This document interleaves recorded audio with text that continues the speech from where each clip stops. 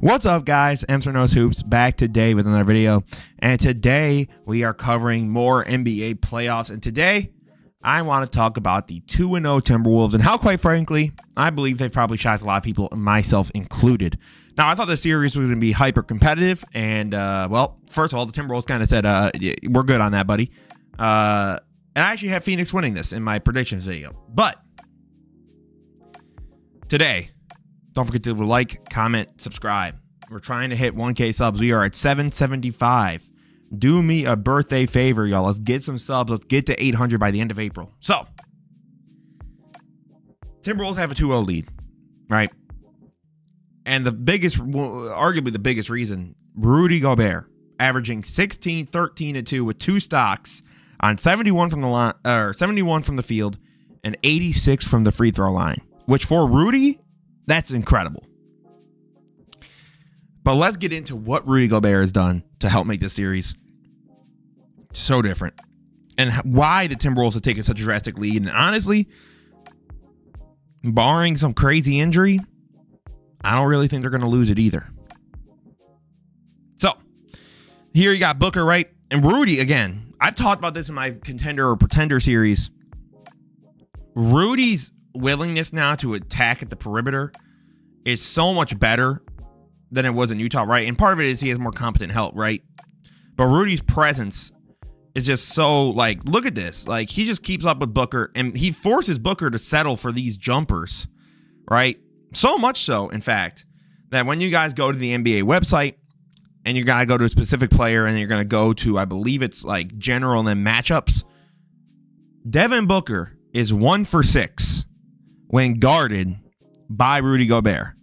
And a big reason is that Rudy is forcing Booker to take uncomfortable or contested threes. Right? So here's a clip, and this is the one make Devin Booker get. So I know what you're thinking. Emster, I thought it's a positive video. This possession, I think, already shows what's so different about Rudy, or maybe just the, the team defense, whatever you want to say. It's just what different about this Timberwolves team this time around versus when we've seen them in the past. Look at what Rudy's doing here. The footwork, right? Keeping up with Booker. Like, even though Booker gets a little bit past him, he's still attached to him at the hip. And that's an extremely tough shot, anyways. Right? Like, that is no easy bucket. Uh, Rudy is making him work for it, right? Like, look at this. Even here, he's in the passing lanes, right? Conley gets over, and Rudy's reading this possibility of the transition play because they're only up 13. So, right, like that could be a huge bucket to get, but nope. Rudy forces it back out, going over, right, and gets fouled. Booker, KD's going over, and again, Rudy just attentiveness because understandably so, right? You see Nurkic is rolling to the rim. So KD makes the right idea of a play, but instead, boom, Rudy gets it, helps start to force a transition play for the Timberwolves. And then I want to talk a little bit about Rudy offensively. I love this. I know what you're thinking. It's weird. Why does Rudy have the ball and why is he pushing? But I love the assertiveness of what Rudy's been doing. That is what's different about this team, right? Look at this. Pushing, pushing, taking advantage. Boom. Now, at first, this was called, I believe, an offensive uh, foul uh, the Timberwolves would challenge this because, and one, come on, man. Like, what Rudy's been doing for this team has been so helpful, right? KAT over to Conley, right? Rudy waits, kind of slips towards the dunker spot. Boom, McDaniel's right around. Beal takes too long. Nurkic, get out of the way, you too little, right? What Rudy has done for this team has been incredible. And I think this series and the way Rudy's played, and even the way um, the next guy in the video we're going to talk about is played, is part of the reason why box score isn't the only thing that you got to look at. You have to watch the game. You have to watch the film because Rudy only. If I told you Rudy Gobert only has two stocks or steals and blocks, I don't think you believe me. Right? The way everyone's been hyping up what Rudy's been but it's what Rudy's been doing as an individual defender and forcing tough shots. But that won't show up on the shot chart, right? That won't show up on a box score. It's not going to say, oh, Booker is one for six when guarded by Rudy Gobert. Nope. It's just going to say it's two stocks. So you're like, oh, Rudy had a cool game. Nothing crazy. And the other player I want to talk about, and a huge, huge reason that this team is in the position they're in as well, Jaden McDaniels. Averaging 17, 7 and 2 with 1.5 stocks, with 54 from the field, 33 from three, which could be a little bit better, right? And 86 from the line. And Devin Booker is also one for six when being guarded by Jaden McDaniels. But let's look at what McDaniels has done to help impact the series, right?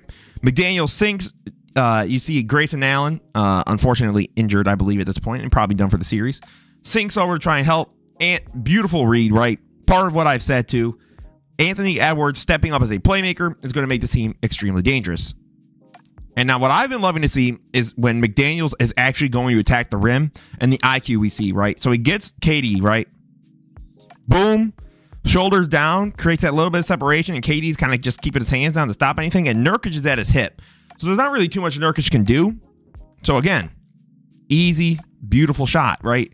And I love here he takes advantage. Uh, McDaniel took advantage of Booker. If we notice, Booker sort of shoves him out the way, but McDaniels uses that to his advantage to go, hey, wait a minute. Now I have the inside, right? And this is just a tough shot, by the way.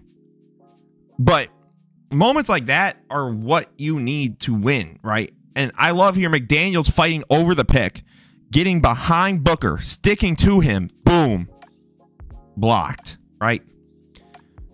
Like, look at that. Like, it's the patience, right? I talk about that all the time on the channel, but the patience is immaculate, right? And McDaniel's just boom again, right? Like, and what I love about this too is how he kind of keeps not flat footed, but McDaniels doesn't rise at all. He just stays with Booker, and you can see Booker tries to get a foul call. So McDaniels just goes, "Let me just get the ball out the way. Even if it's your ball, you're not getting the shot up, right?" And that alone has been a huge reason that McDaniels has been doing what he's doing, right? Let me just make sure. Okay. So, the final guy we're going to talk about. Obvious. Anthony Edwards, averaging 24, 7, and 7 with three stocks, 47 from the line, or from the field, 43 from three, and 80 from the line. Right. And mind you, what it, shocked me about this because I know Ant was an incredible game one, but I knew he was awful, at least shooting wise, in game two. So I was thinking, oh, his stats are probably gonna be a little, you know, weirdly in between. This man's almost putting up 50 and 40. Like, it's insane. But let's get into it, guys, right? So Ant on Royce O'Neale, sticks on him, boom. When O'Neale goes over to his other hand, you see Ant gets a you know his hand on it and goes to immediately start pushing for a transition play. And then there goes Bradley Beal. A little bit of a shove by Ant. Gets his hand on it, right? And this is a good read by Ant because he doesn't try and just swipe for the ball because if he does, Nurkic sort of just has a free little push with Beal trying to come back in and then, you know, you can do something like that. But instead, Ant gets the ball as Nurk goes to grab it to make an uncomfortable possession. And then Jaden McDaniels, right, gets the foul. So Ant sticking on Beal again. Just look at that. Incredible defense, right? But they're pushing. Gets the ball back and brings it up. Ant gets KD, shoves, pushes him back, bang. And according to Clean the Glass, he's 50% from the three uh, from the midi so far. He's only taken about 16 shots, but if that's what Ant's going to give you, hey man, that's unstoppable. Right? Ant forcing the turnover from KD, pulls it up, gets Booker one on one. Booker's just, I don't even know what he's doing at this point. Man's just running. Boom, rose up from the free throw line. That's just, you're not going to win a series if, if you're allowing a, a superstar caliber player like Anthony Edwards, right? Again, beating Beal, boom, boom. Like, that's incredible basketball. To be 100% honest, I have to give a shout out to Chris Finch. Um, what he has done schematically with this team, taking advantage of the fact that Phoenix doesn't really attack the rim. They don't necessarily have a great rim uh, attacker or a guy who gets put who who puts good rim pressure. What he has done is basically said, we're going to take your perimeter away. Go ahead and try and attack the rim. We got Rudy, we got KAT, we got McDaniels, and we have Ant. Go ahead and try it. Right? And basically, they've paid every time. So let me know what you guys think down below. Are you guys shocked the Timberwolves are up 2 0? Do you think that they can go for a clean sweep? Do you think this will be in five, six? Do you think the Suns still manage to pull it out? Like, do you think Booker, Beal, and KD turn this series around offensively and they just take over? As always, guys, this is Emster Knows Hoops. Don't forget to leave a like, comment, subscribe. Have a beautiful rest of your day, guys. Peace out.